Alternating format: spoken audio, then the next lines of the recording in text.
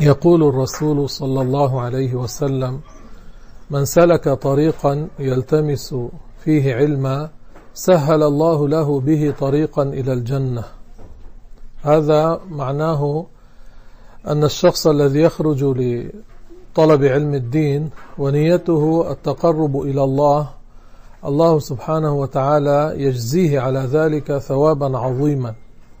وهذا فيه دليل على أهمية علم الدين في, في الشرع.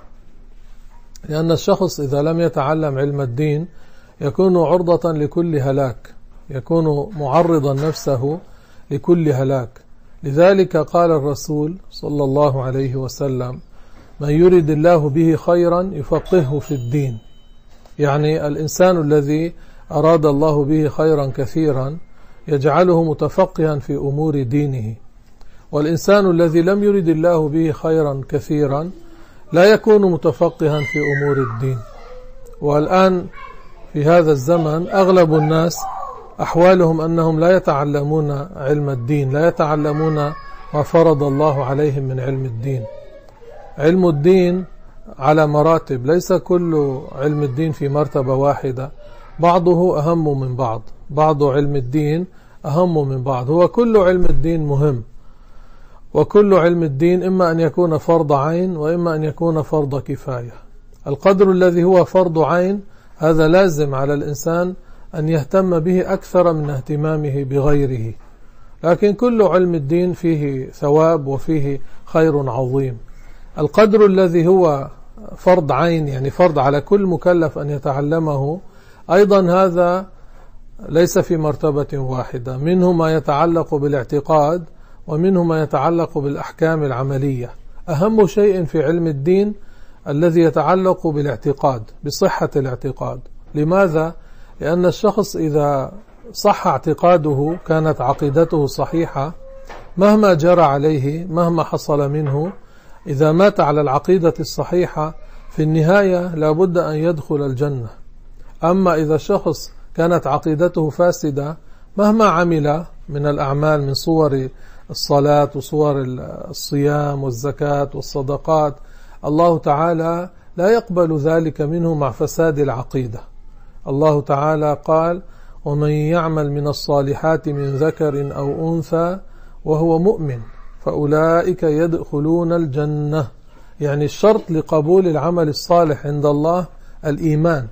بدون الإيمان لا يقبل العمل الصالح. كان امرأة لقيت رسول الله صلى الله عليه وسلم. هذه أبوها كان حاتم الطائي. حاتم الطائي كان قبل بعثة الرسول عليه الصلاة والسلام. مشهور بالكرم. الناس تعرف يقولون كحاتم طي يعني من شدة الكرم. إذا أرادوا مدح الشخص يقولون مثل حاتم طي.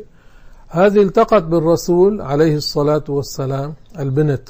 فقال لها الرسول صلى الله عليه وسلم لو كان أبوك مسلما لترحمنا عليه. معناه أبوك مات على غير الإسلام لذلك لا نترحم عليه. لأن الله سبحانه وتعالى لا يغفر لغير المسلم الإنسان الذي مات على غير الإسلام الله لا يغفر له. مهما فعل من أنواع الإحسانات في الدنيا في الآخرة لا يستفيد ثوابا على ذلك لا يستفيد حسنات. كان رجل من أقارب السيدة عائشة رضي الله عنها من قبيلة أبي بكر الصديق رضي الله عنه. هذا الرجل كان اسمه عبد الله بن جدعان.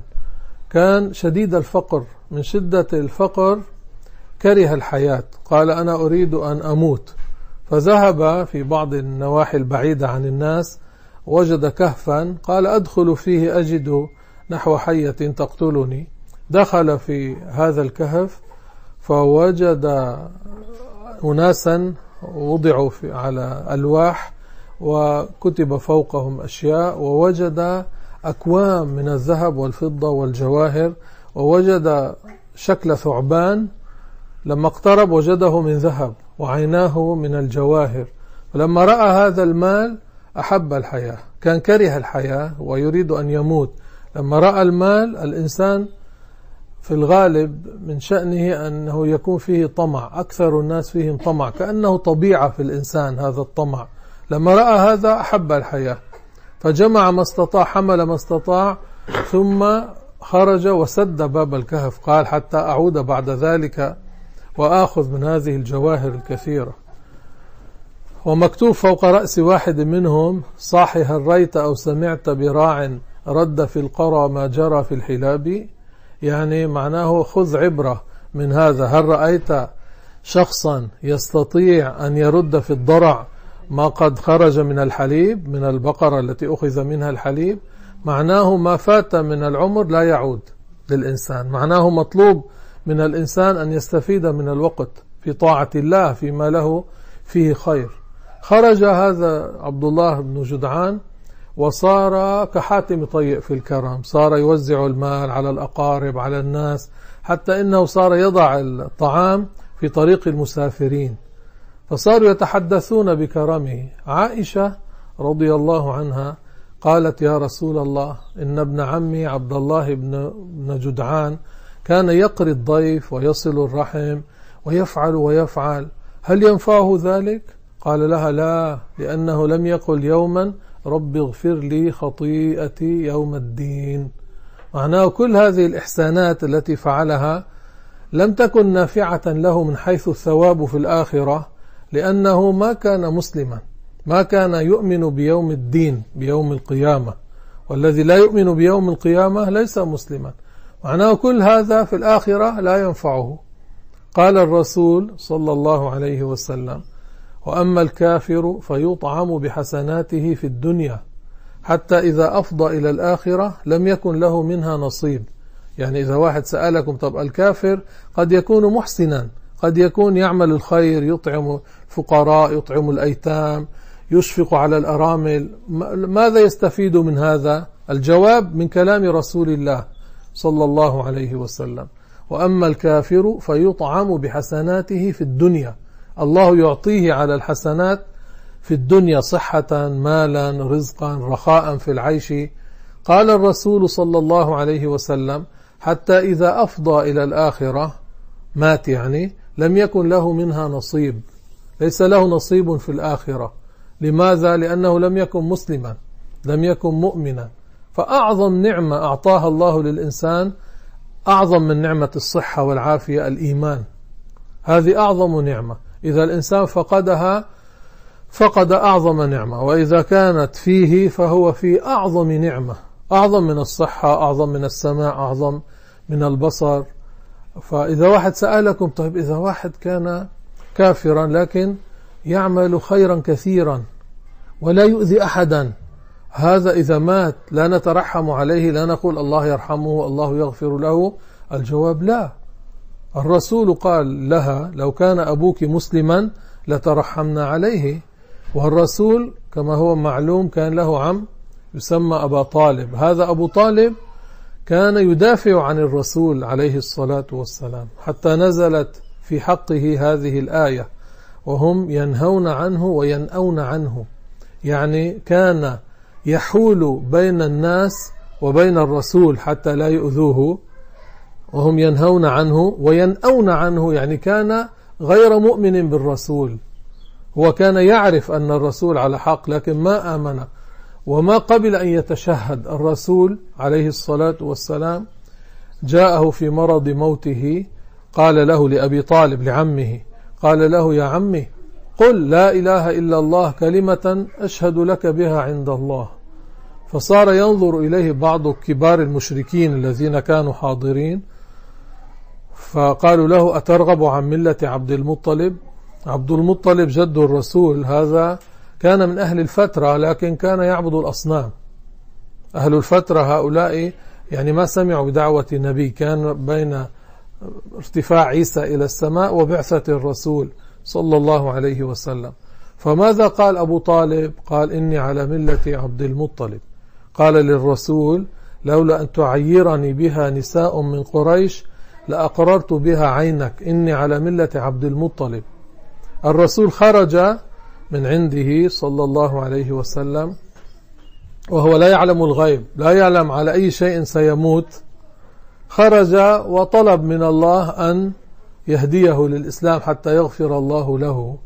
ثم لما مات عرف الرسول أنه مات على الكفر. من بلغ الرسول؟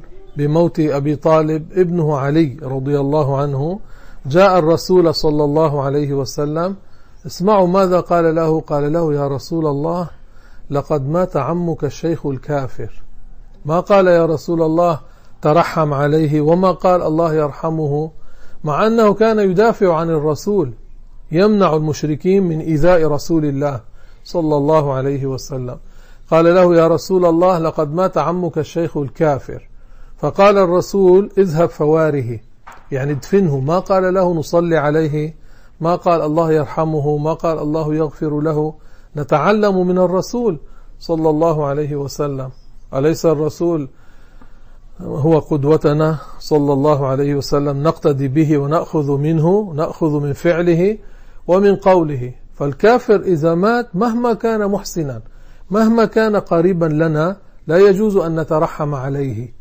قال الله تعالى ما كان للنبي والذين آمنوا أن يستغفروا للمشركين ولو كانوا أولي قربى من بعد ما تبين لهم أنهم أصحاب الجحيم. كيف يتبين أنهم من أصحاب الجحيم؟ إذا مات على الكفر. إذا مات على الكفر هذا لا يجوز أن يترحم عليه ولا يجوز أن يستغفر له ولا يجوز أن يدعى له بالتخفيف. قال الله تعالى ولا يخفف عنهم من عذابها. عذاب جهنم لا يخفف عن الكفار. سيدنا محمد عليه الصلاة والسلام قال عن أبي طالب يكون في ضحضاح من النار. يكون أخف أهل النار عذابا. لماذا؟ لأنه ما كان يسب الرسول ما كان يؤذي الرسول ما كان يقاتل الرسول لكن كان كافرا. فقال عن عنه يكون في ضحضاح من النار يوضع تحت عقبيه جمرتان يغلي من أثرهما دماغه عن أبي طالب معناه هو معذب بهذا العذاب من أول ما يدخل إلى جهنم إلى ما لا نهاية له لأن عذاب الكفار لا ينقطع. فكيف إذا واحد اليوم في هذا العصر مات على غير الإسلام مات على عقيدة فاسدة؟ اليوم انتشرت بين الناس عقائد فاسدة هي خلاف القرآن.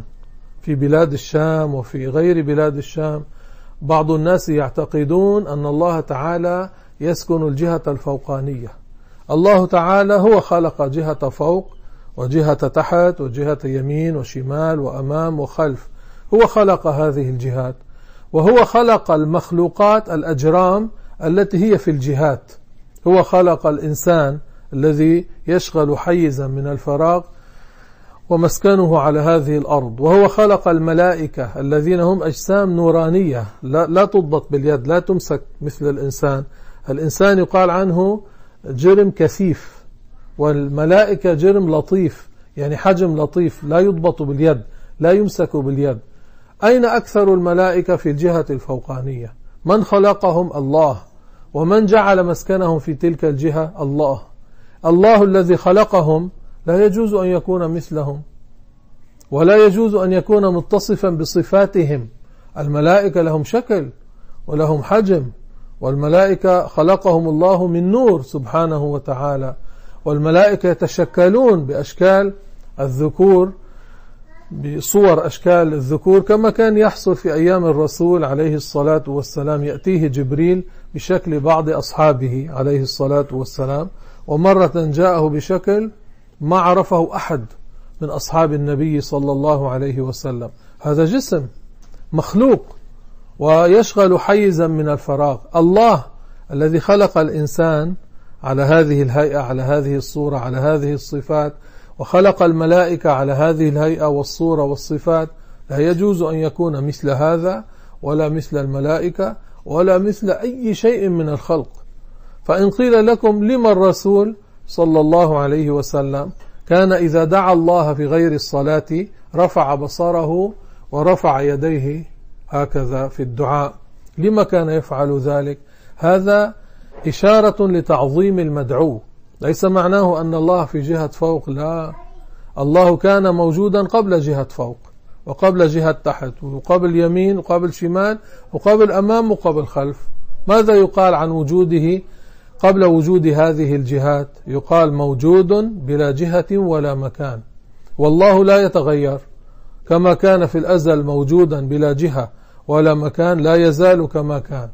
ثم الله تعالى ليس شيئا يتصور في القلب. الشيء الذي يتصور في القلب يتمثل في القلب هذا شيء مخلوق. الله خالق وليس بمخلوق. الأشياء التي هي خلقها الله مما رأينا والأشياء التي هي خلقها الله سبحانه وتعالى مما لم نرى الله لا يشبه هذا ولا يشبه هذا. وهذه الأشياء التي لم نرها يجوز أن نتصورها. مثلا الرسول عليه الصلاة والسلام تحدث عن العرش وجاء الكلام عن العرش في القرآن الكريم. هل أحد منا رأى العرش الذي هو فوق الجنة؟ ما أحد منا رآه. لكن نعتقد بوجوده. كيف شكله؟ كيف صفاته؟ ما لونه؟ لا نعلم. ما رأيناه. فإن نحن تصورنا العرش هو العرش سرير له أربعة قوائم. إن نحن تصورنا العرش ما علينا ضرر لأن العرش مخلوق. نحن سمعنا عن الجنة وآمنا بالجنة كما قال الرسول وكما جاء في القرآن الكريم. جنات النعيم نحن نؤمن بها. هل أحد منا رأى جنة الخلد؟ لا. لكن سمعنا وصفها من الرسول صلى الله عليه وسلم. إن تصورناها في قلوبنا فأصبنا بالتصور يعني وافقنا الواقع أو لم نصب الواقع. هل علينا ضرر؟ لا لأن الجنة مخلوقة. الجنة شيء مخلوق. الرسول عليه الصلاة والسلام قال هي ورب الكعبة نور يتلألأ. يعني الجنة ما فيها ظلام. كل ما فيها منور. مع أنه ليس فيها شمس ولا قمر. ورد في الشرع أن الشمس والقمر يكوران يلفان يطفأ نورهما ثم يقذفان في جهنم. حتى يزداد عبدة الشمس والقمر عذابا ونكدا وألما. فالجنة من غير شمس ومن غير قمر الأنوار فيها تتلاطم. متلاطمة بالأنوار. لما تسمعون هذا يصير عندكم تصور لهذه الأنوار التي في الجنة. قد تصيبون بذلك وقد لا تصيبون. لكن هل عليكم ضرر؟ ما عليكم ضرر. الرسول صلى الله عليه وسلم تحدث عن شجر الجنة عن نخل الجنة. قال سيقانها من ذهب. كل شجر الجنة كل شجرة في الجنة ساقها من ذهب. هل رأينا شجرة ساقها من ذهب في هذه الدنيا؟ لا.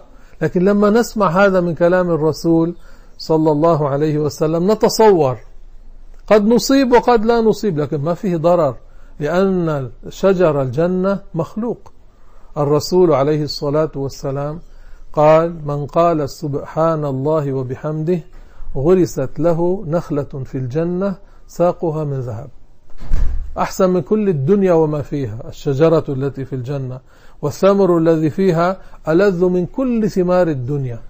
هذا رأيناه نحن لا ذقناه لا إن شاء الله كلنا يكون من أهل الجنة ونأكل من ذلك. لكن إن تصورنا هذا هل من بأس ضرر علينا؟ لا. أما الله سبحانه وتعالى حين نقول الله موجود لا كالموجودات ممنوع يعني لا يجوز ليس مسموحا أن يحاول الشخص أن يتصور الله. كيف يعتقد بوجود الله الاعتقاد الصحيح؟ يقول الله موجود لا كالموجودات. الله شيء لا كالأشياء. الله موجود لا يتصور لا يتمثل في القلب. لماذا؟ لأنه ليس مخلوقا. المخلوق يتصور يتمثل في القلب. أما الخالق مستحيل. أن نستطيع أن نتصوره في قلوبنا. الشيء المستحيل الذي لا يتوصل إليه يسعى إليه؟ يحاول الشخص أن يصل لشيء مستحيل أن يصل إليه ممنوع. قال الله تعالى لا تدركه الأبصار وهو يدرك الأبصار. الله سبحانه وتعالى أحاط بكل شيء علما لكن الخلق لا يحيطون علما بحقيقة الله سبحانه وتعالى. قال الله تعالى وأن إلى ربك المنتهى. ما معنى وأن إلى ربك المنتهى؟ معناه إليه ينتهي فكر من تفكر. معناه أفكار العباد لا تصل إليه. معناه ممنوع على العباد أن يحاولوا تصور خالق خالقهم.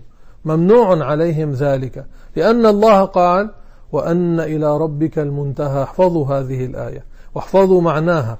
قال أبي بن كعب إليه ينتهي فكر من تفكر. هذا من أكابر أصحاب الرسول صلى الله عليه وسلم. قال في هذه الآية وأن إلى ربك المنتهى إليه ينتهي فكر من تفكر. معناه أفكار العباد لا تصل إليه. طب ما دام أفكار العباد لا تصل إليه هل مسموح للعباد أن يحاولوا التوصل إلى حقيقة خالقهم؟ لا هم لا يستطيعون ذلك.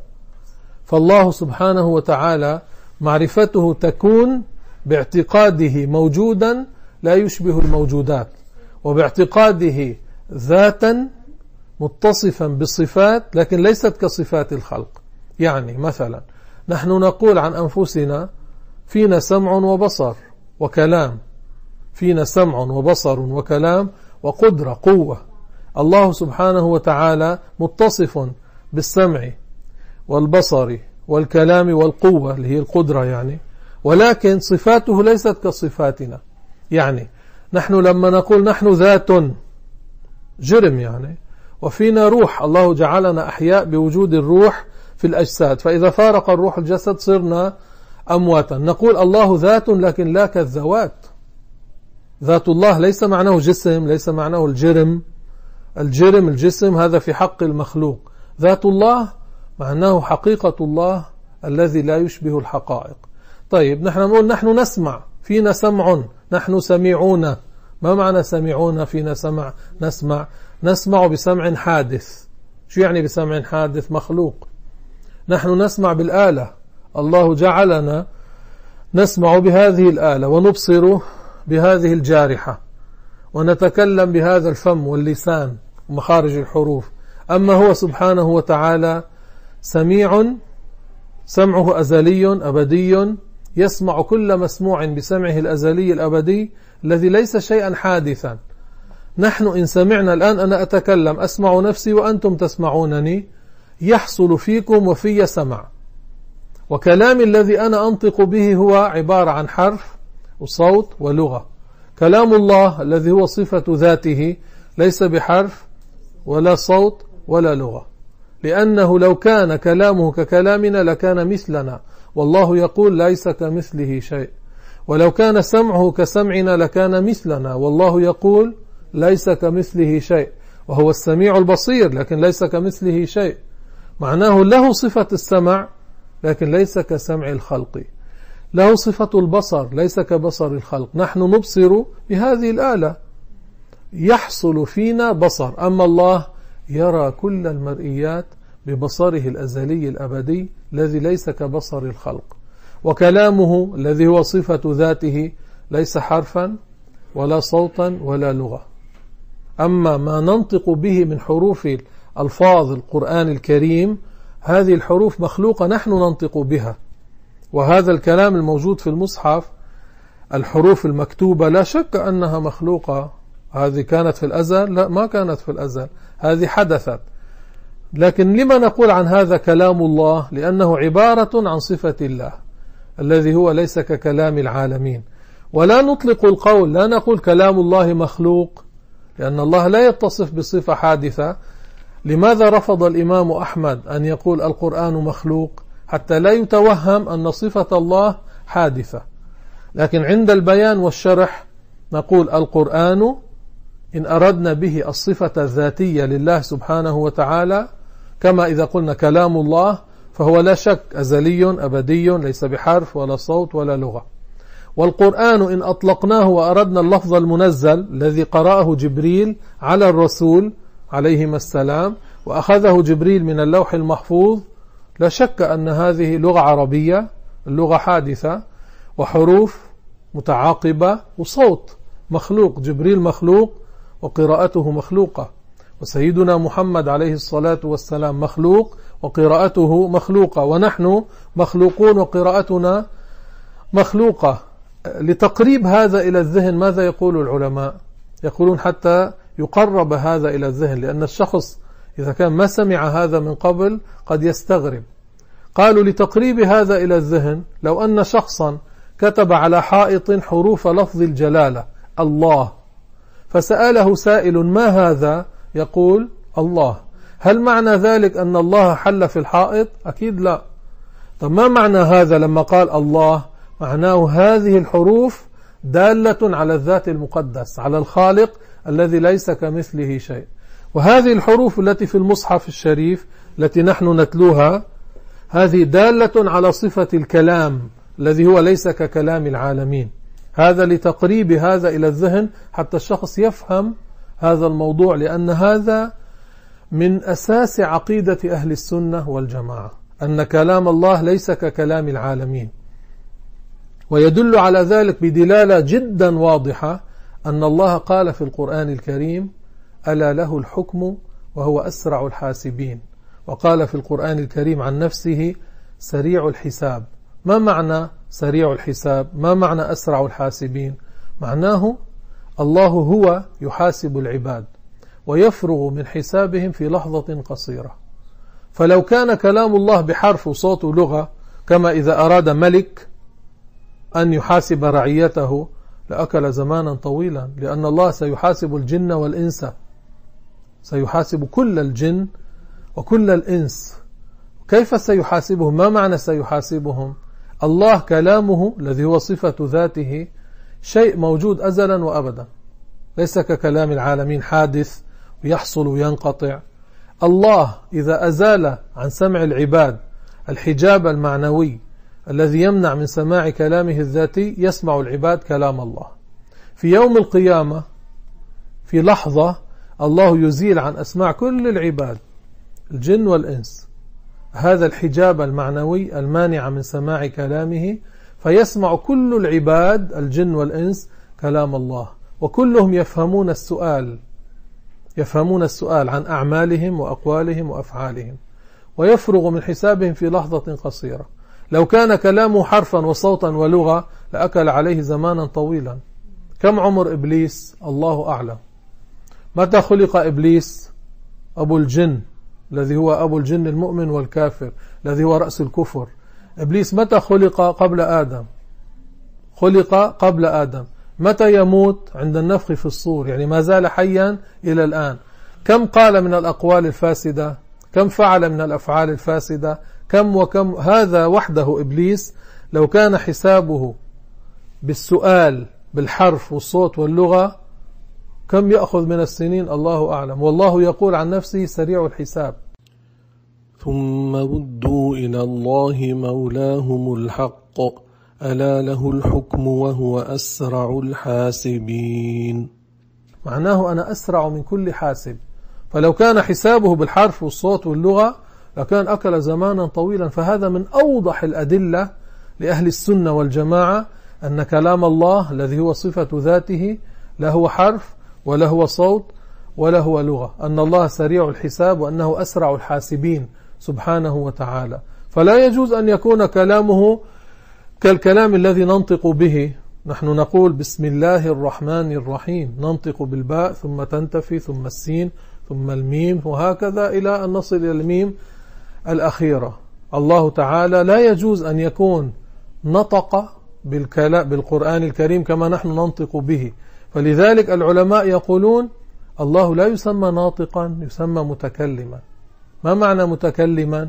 أي متصف بصفة الكلام الذي هو ليس ككلام الخلق لا هو لغة سريانية ولا عبرانية ولا عربية ولا غير ذلك من اللغات لأن الإنجيل الذي أنزل على عيسى نزل به جبريل على عيسى باللغة السريانية غير العربية والتوراة التي أنزلت على موسى باللغة العبرانية غير السريانية وغير العربية هذه لغات مخلوقة.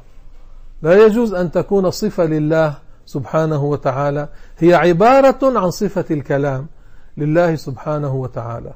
الآن نحن في هذا المجلس بفضل الله تكلمنا عن الاعتقاد بوجود الله سبحانه وتعالى كيف يكون على الوجه الصحيح والاعتقاد في صفة السمع والبصر والكلام.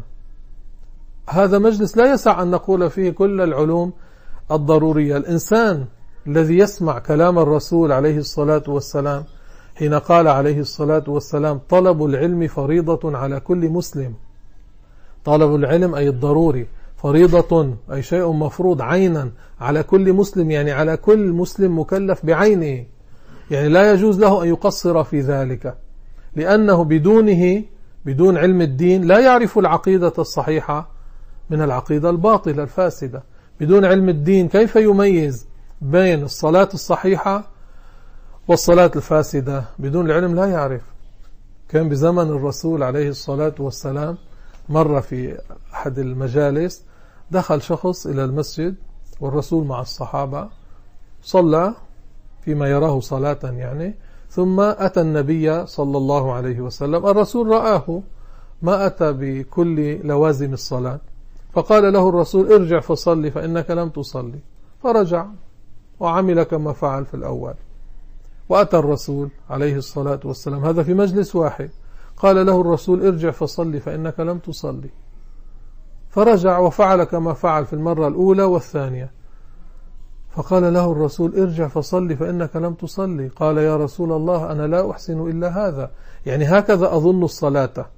فالرسول ما قال له على نيتك كما يقول بعض الجهال اليوم. يقول نيته يصلي خلاص صلى الرجل. نيته يزكي زكى الرجل. نيته يصوم صام الرجل. لا.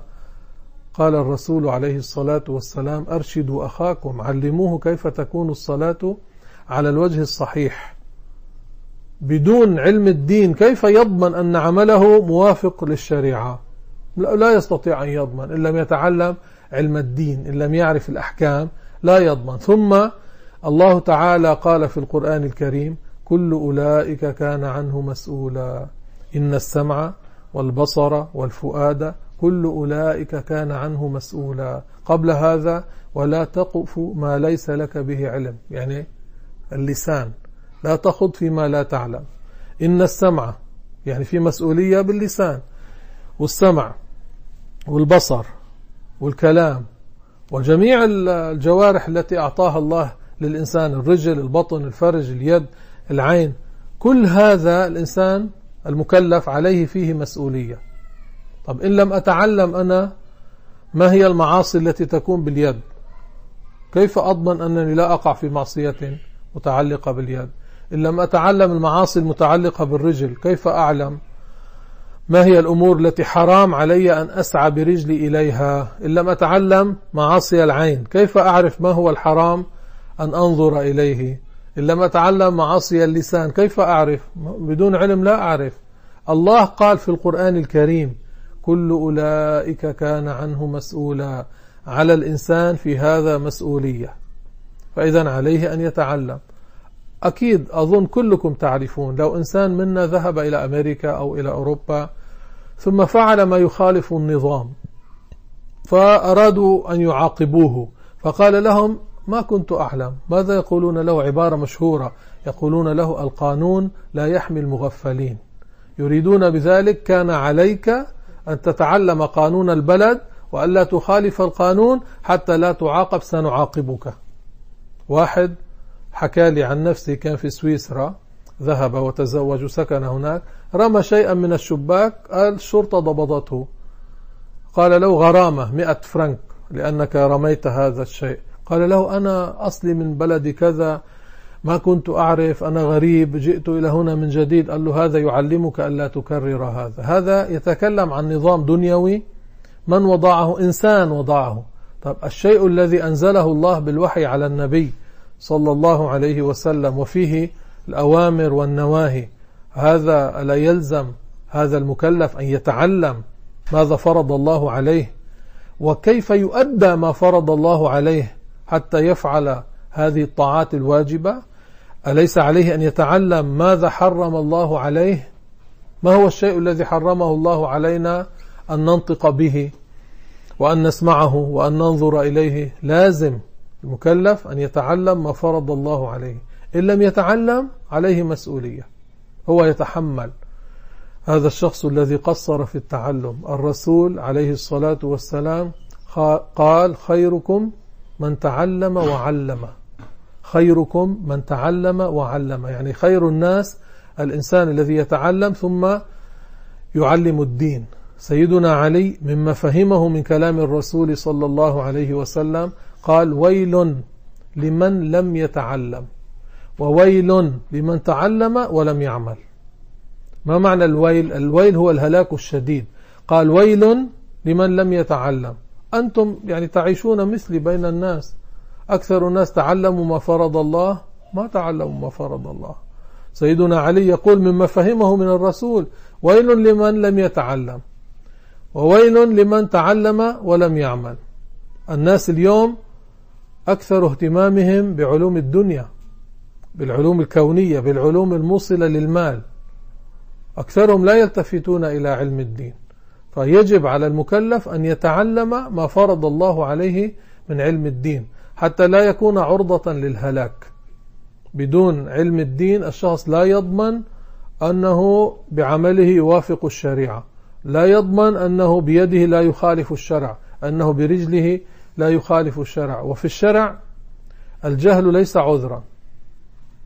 في الشرع الجهل ليس عذرا. قل هل يستوي الذين يعلمون والذين لا يعلمون؟ الجهال بعضهم يقول لا إذا كنت لا تعلم ما عليك شيء. طيب إذا كان إذا كان إن كان لا يعلم ليس عليه شيء لما يتعلم؟ كأنهم يقولون للناس اجهلوا حتى لا تعاقبوا. تعلموا حتى لا تقعوا في معصية الله ليس اجهلوا كلام هؤلاء. كأنهم يقولون للناس طالما أنتم جهال ما عليكم شيء فإذا لا تتعلموا. لأنهم يقولون له إذا كنت لا تعرف معليش. من أين جاءوا بهذا الكلام؟ الرسول قال طلب العلم فريضة على كل مسلم. من يريد الله به خيرا يفقهه في الدين. ليس مسموحا للشخص أن يبقى على جهل في أحكام الشريعة.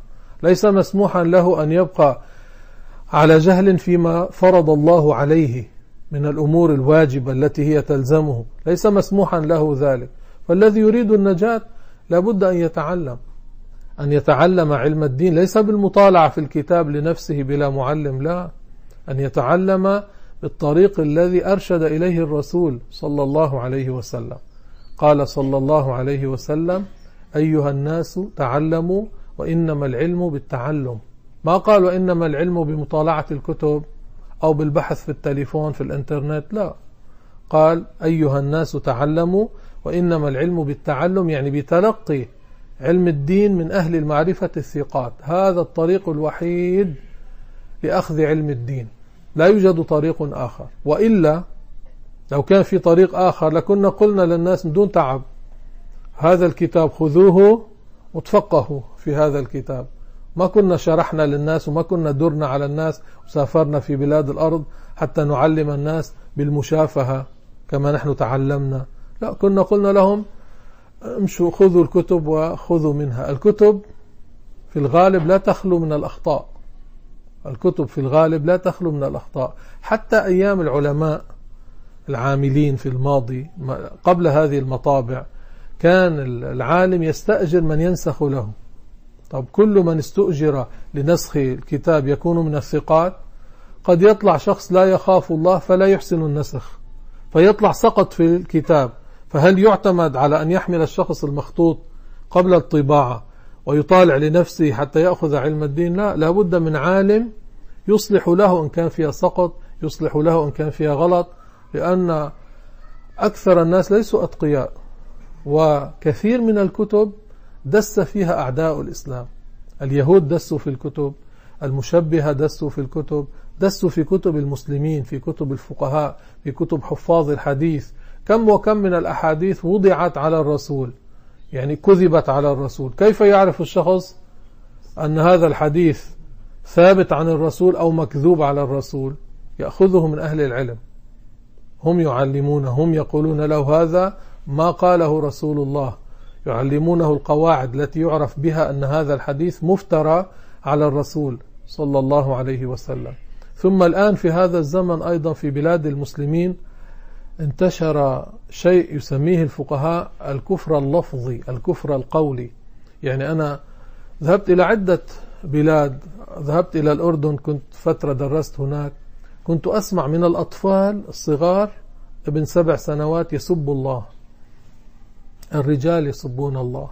النساء يسبون الله. أخبرني رجل من أصدقائي معه باسبور آه، أوروبي قال لي ذهبت لزيارة المسجد الأقصى. قال لي الذي أحزنني أنني في الطريق كنت أسمع سب الله. أنني عند حائط المسجد الأقصى أسمع سب الله. كنت أسمع الصغير يسب الله المرأة تسب الله الرجل يسب الله. من سب الله ليس مسلما. لو كان غضبان لو كان يمزح هذا ليس مسلما. لما ذهبت إلى المغرب درست هناك مدة والتقيت ببعض المشايخ. سألت بعض الناس من العوام سيارة الأجرة لما أركب أعلمه درسا في العقيدة. قلت له هنا يوجد الكفر اللفظي يسبون الله. قال لي كثير. ظننت أنهم بعيدون عن هذا. قال لي كثير يسبون الله تعالى. هذا في المغرب يعني بلاد المسلمين هذه. في مصر كثير من الناس يسب الدين والعياذ بالله. كثير من الناس في مصر عندهم اعتقادات فاسدة. ركبت في سيارة أجرة بدأت أكلمه في العقيدة. فقال لي بلهجته المصرية ده ربنا موجود في كل جزء من العالم.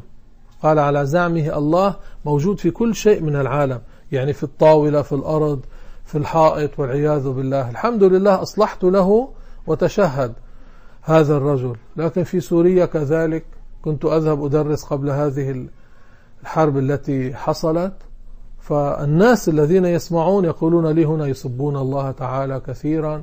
يعني كنت في بيت ناس أخذوني إلى أقاربهم جمعوهم مثل هذه الجمعة فبدأت أحذر من الكفر اللفظي. قلت لهم كالذي يقول والعياذ بالله دوخت ربي جننت ربي هلكت ربي. هذا كثيرا يقولونه في لبنان والشام وفلسطين والأردن. فامرأة كبيرة جالسة في المجلس مع ابنتها فاقتربت من ابنتها سمعتها. قالت لها ما نحن هيك بنقول يعني هذه الكلمات الكفرية التي أحذر منها امرأة كبيرة تضع غطاء الصلاة. قالت لابنتها ما نحن هيك بنقول يعني نحن ننطق بهذه الألفاظ التي هي كفر صريح. ما معنى صريح؟ ما لها تأويل. وهي ماذا تظن بنفسها أنها مسلمة وأنها تصلي وتذهب للحج؟ هل ينفعها كل هذا مع الكفر؟ لا. شيء أخير أقول لكم للعبرة. أخذوني مرة لما كنت في الأردن إلى بيت امرأة عمرها نحو ثمانين سنة. صارت تحدثني عن نفسها قالت لي أنا أصوم يوما وأفطر يوما أنا أقوم كل يوم أصلي الليل كل يوم كل يوم كل يوم. ففرحت لذلك لما سمعت هذا. ثم أثناء حديثها قالت ضيعت المفتاح مفتاح خزنة قالت جنن ربي والعياذ بالله من الكفر. فكلمتها بلطف وبإرشاد وإلى أن قبلت ونطقت بالشهادتين. فقلت الحمد لله أنها نطقت بالشهادتين لأنه أضاعت عمرها هذه بعد أن نطقت بهذا الكفر. ثم لما أردت الخروج جاءت إلى الباب لتوديعي. قالت لي بس اسمع يا شيخ أنا ما كفرت لما قلت هذيك الكلمة. كل الذي كلمتها به وشرحت لها وقلت لها ما جاء في القرآن والحديث وأن الشخص إذا نطق بلفظ الكفر لو عن غضب لو عن مزح يخرجه من الإسلام. هذا نتيجة الجهل. شيطانها قال لها كيف تقبلين وأنت في الثمانين أن يكون ضاع عليك كل ما فعلت من صوم ومن صلاة؟ هذا الجهل يهلك صاحبه يفتك بصاحبه كما يفعل السم بمن يتناوله. فالذي يريد النجاة ماذا يفعل؟ علم. يتعلم علم الدين ثم يطبق تطبيقا كاملا حتى يكون من السالمين. الله تعالى يجعلنا من الناجين. الله تعالى يجعلنا من الناجين. اللهم عافنا واعف عنا. اللهم عافنا واعف عنا. اللهم عافنا واعف عنا. اللهم فقهنا في ديننا وزدنا علما. اللهم إنا نعوذ بك من الفتن ما ظهر منها وما بطن. اللهم اجعلنا من عبادك الصالحين. اللهم اجعلنا من عبادك المتقين. اللهم أحينا على عقيدة أهل السنة وتوفنا على هذه العقيدة. اللهم أكرمنا برؤية وجه سيدنا محمد عليه الصلاة والسلام. يا أرحم الراحمين يا أرحم الراحمين يا أرحم الراحمين. والحمد لله وصلى الله وسلم على رسول الله. نهلل مع بعض.